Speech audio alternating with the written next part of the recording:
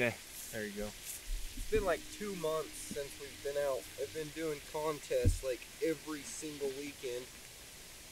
Sorry about not getting any footage out to you guys, but it's about to turn on and we're going to start pumping some out for you, so stay tuned.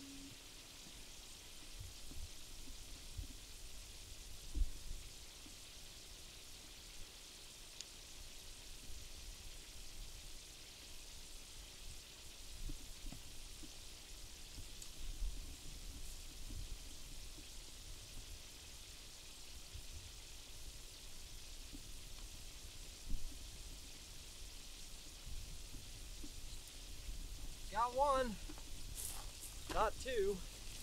Should have been two. But what can you do?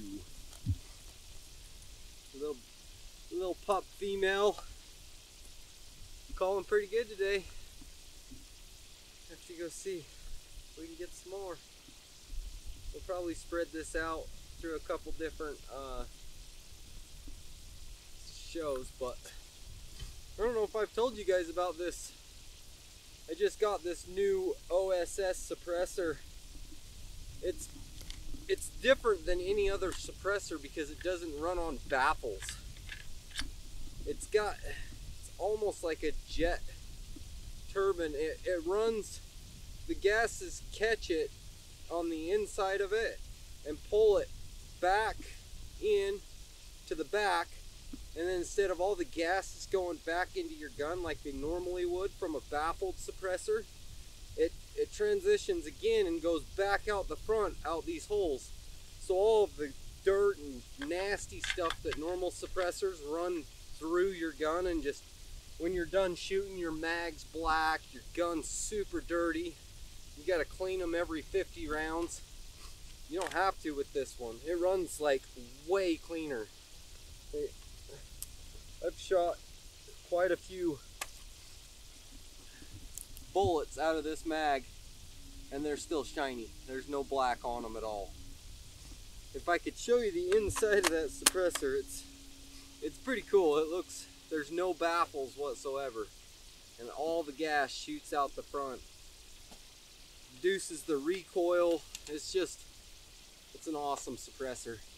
If you guys get the chance go check them out it's OSS suppressors. They make some really high quality suppressors. Fully automatic rated. You can shoot up to a 338 Lapua out of this suppressor.